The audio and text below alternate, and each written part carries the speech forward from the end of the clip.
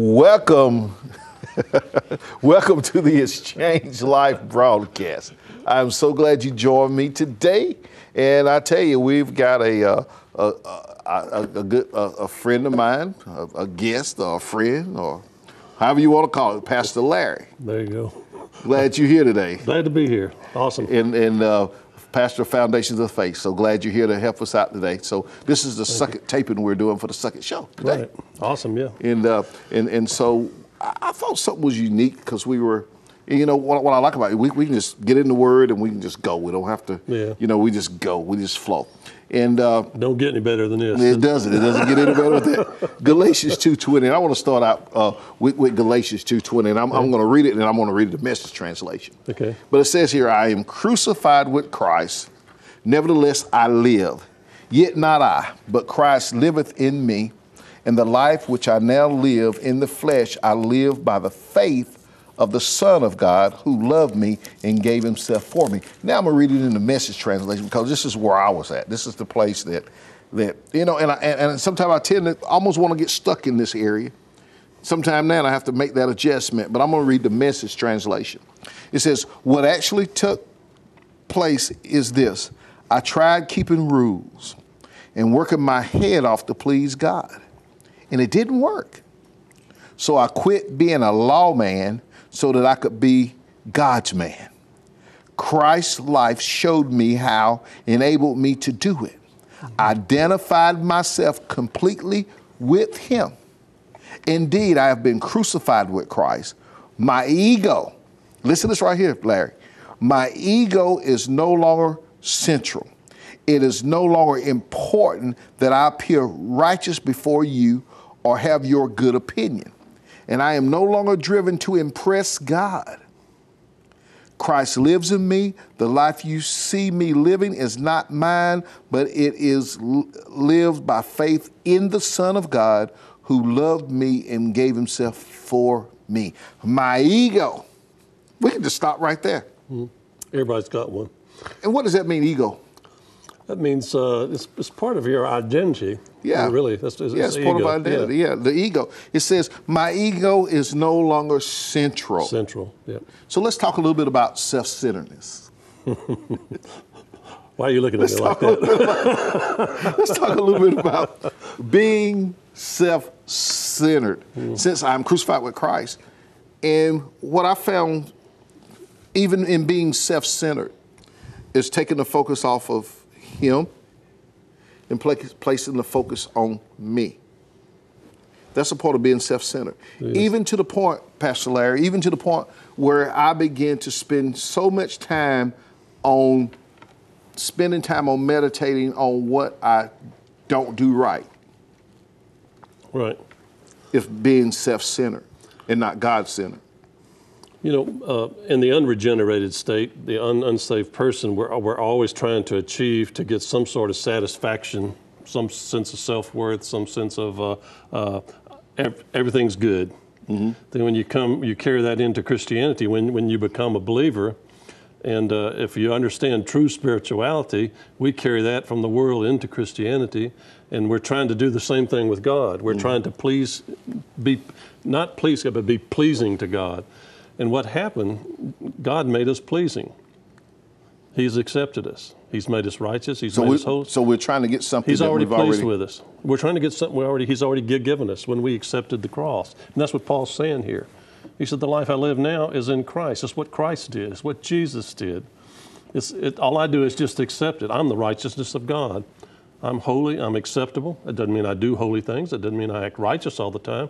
But the real me that I identify with, my born again spirit, is just Well, well, see, I'm glad you said that too, because self-centeredness it goes back to what we identify with. Because uh, there are a lot of believers that we find ourselves identifying more with our flesh Right. Than But when our- touch, than our touch, spirit. taste, feel, see, it, we identify with the carnal man. Yeah, with the carnal man, we not with the identify with that carnal man. man. and not with the spiritual Right. man. And so, um, what Paul's talking about, he says, I have to identify with this new, this new, New creature, creature, right. and who I am in Christ. and then allow Christ to move through me, operate through me. It's not it's not my ego anymore. Why should I care what people think? And a lot of times we care about what people think. Oh, don't do, get- don't yeah. don't let nobody fool you now. Well- you you know because I was telling you uh, about the show. You know I was saying well. I ought to ask for money, but you know I don't want. pe- And what I'm saying is, I don't want people to think I'm trying to rip them off. You know what I'm saying? Yeah. See, I mean, you know, and, and then I don't want people thinking this or thinking that. You know, and and sometimes and, and sometimes that that happens. You know, but how do we rectify? How do we deal with that when those things come up? How do we deal with them as we know that we are? I am crucified with Christ. So how do I deal with that? Well, when you accepted Christ, even, even in Romans, it says you're dead. In Romans chapter, I think it's five, four five, says you're dead and your life is now in Christ. Mm-hmm. You're in Christ. You're, you're, you're, you're a dead person. You died to sin. You died to the things of the world, and you became alive to Christ. And so, what happens when you're in Christ now? 2 Corinthians 5:17 says, "Old things have passed away; all things have become to come new." I spent I spent 30 years of my Christian walk or, or around there trying to be acceptable by God, looking in my past, trying to fix where I was going. And that's where most people are, are today, even in the and, church. And if you're trying to drive and you're looking in that rearview mirror, not looking afraid, of, You're gonna hit the ditch. You're gonna hit the ditch. You're gonna have an awful. Yeah, gonna- that's where gonna- that's where my life gonna- was going from ditch to ditch. But when you understand that when you were born again, you became a new species of being that never existed before on the face of the earth. And at that point in time, your spirit now relates to God 100%, and God relates to you. I, I, I used to have, have people tell me that said, "Boy, when God looks at you, he you know he, he just sees Jesus, but he doesn't see filthy old you," and that's not true. You uh, and I, the Bible says, look just like him. We're just like him. We are a species of being that came out of the resurrection when we when Jesus accepted when God accepted the sacrifice of Jesus and raised him from the dead, a new creature, a new species of being was created, and God said, by faith you can be just like that. by faith. By faith you can be just like that. You are now, 2 Corinthians 5 saying, if any man be in Christ, Christ. he is a new creature, and this is the I used to put a period there, didn't understand it. Mm-hmm. Old things have passed away, all things have become new. Most believers are still trying to look in their past to fix Because the that's what we, because that's what we identify with. That's We, exactly- a lot of times we identify All with the our bad, the- past. the good. all the bad. Even the good, And you can become good. egotistical. Right, right, If you, yeah. if you if you just look at all the triumphs in your mm-hmm. life, you can become Say, narcissistic, yeah, if yeah, you will. yeah, look at me. Look you know? at me. I'm the greatest thing since sliced bread. Right. I mean, it, it cuts both ways. Right. But when you when you say, I started over, my life started over when I came to Jesus. And this is who I want to identify with. Yeah. But I'm like him. I identify Yeah. with him. That's who I'm like. That's the Bible says, as he is, so, So are, are we, we. in this present world. In this present world, not in the world to come, right now. but in this present world right now. First John And- says, when we get there, meaning when we walk through the veil, we're going to behold him, and we'll see that we're already like him. Mm-hmm.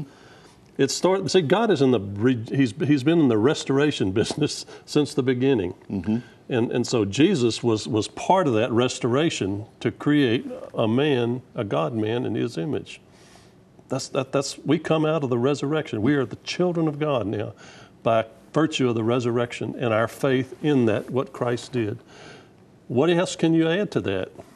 Oh, we can add a whole lot of stuff to No, it. I mean- I mean, I know- I Oh, know- I know. I know, I know what you're saying, mean- but when you say that, we as the church, I'm can- talking about religion, has added a whole lot of stuff to what you just said in that, that short narrative of something that seems so simplistic can become so complex. You know, I believe that scripture, and you might be able to tell me, it says that um, the road is narrow, but the broad road is the way to destruction. Second, uh, it's in uh, it's in the gospel. Uh, it's in the gospel. I think it's uh, don't remember. Wide is the path that leads to destruction. Narrow is the path that leads Right. to life, and few who find it. I'd always understood that to be in terms of, of heaven or hell. Uh, you know, you're going to go to hell, and, and you Right. stay on this road of destruction. Right. But that has nothing to do. It has to do with the life of God. The life of God. And, and this is what, what my lightning fast, my revelation was that the narrow path is Jesus. yeah, it is. This simplistic of what Jesus has done. And the broad road is all these philosophies and all these religions and all this stuff. If your you do and what yeah, you your agenda. And, if you go, you know, you got to pray five times a day. You got to do this. You got to do that. You got to uh, be put on the cross. You got to do this and all this kind of stuff. And that's the philosophies of man and, and man's ideology and man's philosophies is that broad road. yeah, Paul called it doctrines of demons. Yeah, doctrines. Yeah, the doctrines of demons, and then and then you've got this real narrow road that says simply trust in what Jesus has already done. Right. That he's already paid the price. But with, with our egos and, and what we tend to identify or gravitate toward, um, um, and even being that self-centered where we're just so consumed with what people think about us or what they say about us or or just so con- we can be even so consumed in our own agenda. I mean, you can you can you're a pastor of a church, and if you're not careful, you can be so consumed of growing your church that you totally don't minister to the people that you have. Yeah. I tell you, one of the You know. things that, uh, that, and I don't know if this brings it down down to where, where you're wanting to go, but relationships Mm-hmm. have the ability. They don't. They, they don't always, but they have the ability to to uh, hinder, at best, uh, our relationship with God. As an example, my, I love my wife. I value, I esteem what she says, Mm-hmm. and sometimes I found in my life I will follow her input, knowing that God is saying to some something else to me. Mm-hmm. Now, some people say, "Well, that's sin." Well, okay, but the bo- the bo- bottom line is, I esteem her opinion over God's opinion. And the trick in, in that, to me, is that in good relationships, is how to walk with God and maintain the good relationships with the people around you. Right. Most of us fear men if we, we, we were honest. you Yeah, know. we fear men. Yeah. and, and we value the, the, the what will they say people. about me? What will they Yeah. think about me? Well, to, to, to me, it's a conflict too. You know, it's it's like I don't like conflict. I, I, I just, you know, I, but I know uh, if you're going to lead or if you're going to be in a position of, of, a, of leadership, you're going to have conflict. Mm-hmm. Even if you're not, you're going to have conflict with uh, other people in, in relationships. But uh, ultimately, it comes down to what do you think about this, God? Mm-hmm. And being able to communicate to a person that you're in conflict with in love mm-hmm. and say, look, you know, I, I value your opinion, I value what you say, but this is what I believe God is saying to me, and I'm going to follow it. And if, if they get their knickers in a twist, that's between them and God. Mm-hmm. Even though it, it might hurt sometimes, because I've said things to people knowing that I was right, and it, it, it hindered a relationship with them for Right. some of them have ne- never recovered. But you have to determine I'm gonna I'm gonna walk What with God you- the best I can, the best Yeah. I can. Well, let me ask you this right here. What do you tend to identify with? Um, I noticed during times of, uh, you know, uh, Satan, he will attack you and he'll use the same thing over and over. He don't, he don't, he don't say he's not going to attack you with something that I might have, but you don't. He's going to use those same tools over and over, uh, you know, with us. But I noticed myself that sometimes my battle of sometimes you can get depressed about things. You can you can get depressed by things, and and it's a lot of times what I find myself doing is beginning to identify with the failures. Yeah. Well, it, it And, and, and, and this is the whole thing, though. See, sometimes those failures, those failures are things that nobody knows about. no, it's just you and God. Just me and God. You know, to me, it comes down as uh, you, you mentioned depression and and and, uh, and or, or you know, to me, it comes down to do you accept yourself? Because God accepts you. When we don't accept ourselves, we're going to be depressed Yeah. because there's, there's there's nothing there other than uh, other than our, our our our carnal person. And so, can you just tell me a little bit about your story? Because I heard your story about, you know, about when you was in Texas, even in the mental capacity Yeah. and different things, and how Satan tried to rob you from your life, tried to rob you from this relationship. Yeah, I had a What- what- what was- relationship that went on? south of, uh, um, and it, it just uh, it really dead devastated devastated me. Ended up in a mental hospital. Ended up meeting uh, my my pastor, who I'm still friends with forty something years later.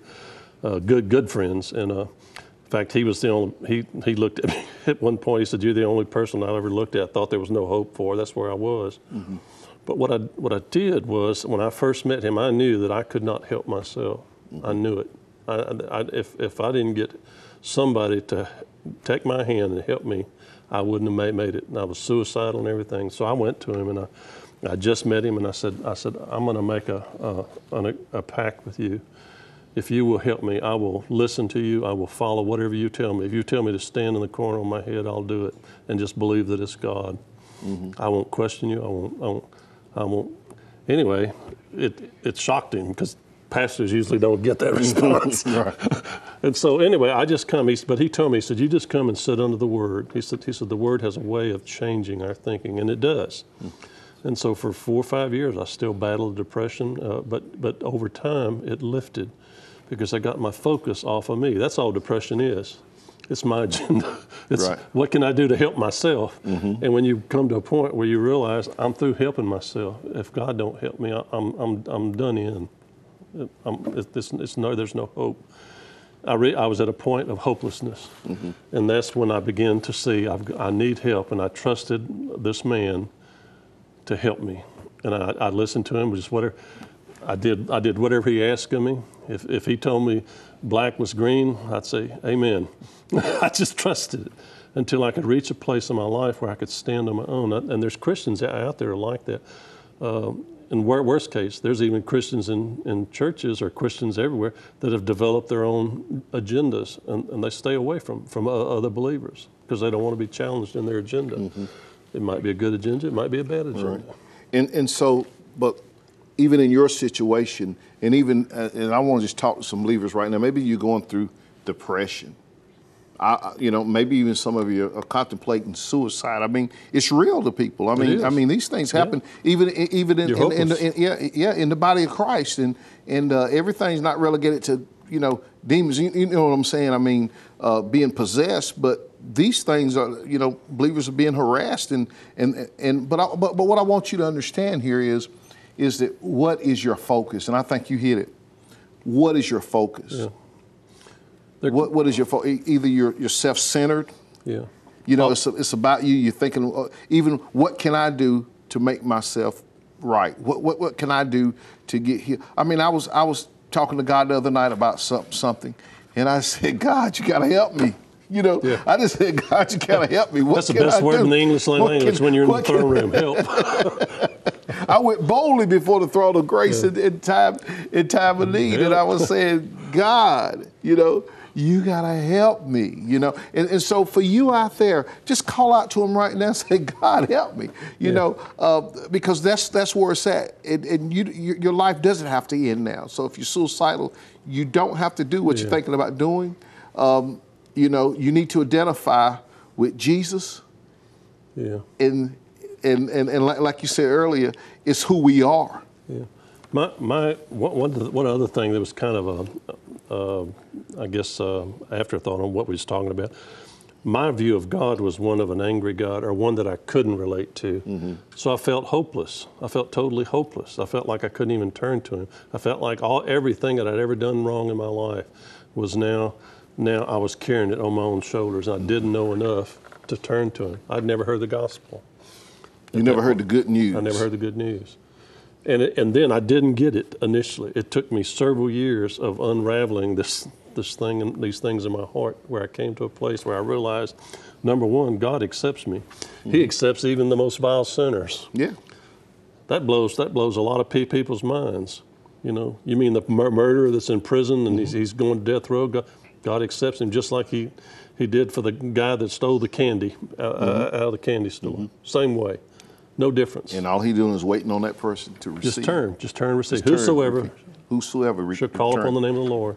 And and uh, so did you try keeping the rules? Oh God.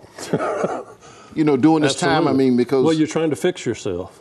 so that means you trying say- to keep the rules. See, and, and- and this is what a lot of, of, of religious thinking does. So, well, if you just do this and you do this and you do this and you do this, then it all works. Well, it doesn't all work because you can't, even, even on your best day, you can't keep the rules. Then I went from there to the spirituality. Now that I'm spiritual, man, Jesus, Jesus is, is, is everything. Let's live a Walt Disney Christianity. We're going to live happily ever after. Man, when I came to Christ, things got worse. Mm-hmm Because there's a lot of junk that I was focused Right. on. I had to change my focus. Right. Had to, and it took time. It, for, for me, now some people get it. I wasn't raised in a, in a church that, that, that taught relationship with God except through other through a through a priest or through a, through, through, through the church itself. And um, that's not to slam, you know, Catholicism. These, these are good, good people, and, and, and many of them are saved. Mm-hmm. Right. But there's also Protestant folks that, that they they live and die by the building that they, Right, right, you know, exactly or what, right. what, whatever it is. You yeah, know? yeah, what, And- whatever that thing and, is. Mm-hmm. and when that disappoints you, you lose hope. You, you get So, and I'm gonna read this again because I love this message translation because I've seen myself. I'm, I'm looking at this. I've seen myself at, at some point in time. What actually took place is this: I tried keeping rules, and working my head off. Man, I started out young working in the church, and that's what it was, working in the Working. church. I was like 13 or 14, like assistant Sunday school superintendent. I mean, I sung on the choir, I done all that kind of stuff. But as I got older, I was miserable, man. Yeah, you are. I was just plain right miserable, and I didn't understand why, what was going on.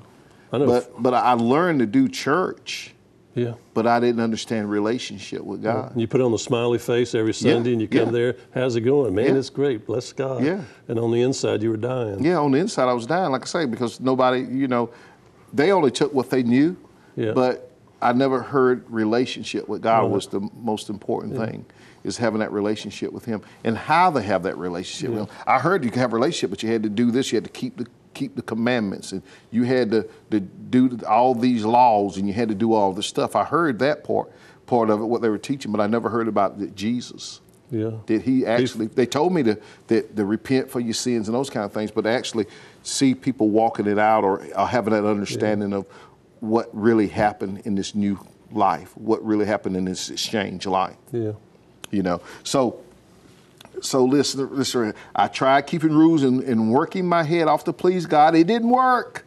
So I quit being a lawman so that I could be A God God's man. Yeah, there you go. Christ's life showed me how, enabled me to do it, and I identified myself completely with Him. You know what I was thinking um, when I was reading this? One, one of the things I was thinking, I said, now, before I open my big mouth, because a lot of times I know you talk about you can put how many feet, put both your feet in the mouth at the same time. Yeah. Yeah. I said, Open I mouth, said, change foot. yeah. I said, you know, if I could just shut down just for a few seconds, say, okay, Holy Spirit, what should I say? Yeah. What a difference that would make. Just acknowledging His presence. Yeah. Just acknowledging His presence. And, you know, it may be a word to encourage someone. It may be a word to deliver somebody out of something. He may give me a word. But just in our everyday life, now we want to play super, super spiritual or whatever in church, but I'm talking about just in our everyday life of, or how I could speak a word to my kids that could alter and change their future forever. Or I could speak a word to my wife that may be hurting and I don't even know that she's hurting. But in, and in that, what I'm saying, acknowledging and identifying with who lives in me And you. Yeah. Acknowledging it, acknowledging not only acknowledging that he lives, but begin to walk and identify with who it is that, that live in me, and and take my agenda and put it and take my agenda and say this agenda is no good. I'm God's. I'm His. I'm yours, Lord. Yeah. And and to take my ego and say, okay, ego, you know, you know, I Yeah. I live and desire to live and walk after the one that lives in me. You know, one of the things experientially that, that um, I've experienced, uh, I'm, uh, I, I grew up in a, in a household that was uh, uh, dysfunctional at best, and uh, but over the years I, I hated conflict. You know, I was I was one of these kids that grew up. I just I just hated it. I'd run from it. I, I was one of these. Uh, I didn't get in fights or anything like that. And then it's like somewhere along the way after I was born again, it's like I was always in the middle of conflicts and I hated it. And people were just running over me and all that stuff. And I can remember the day that I stood up and said, Enough's enough.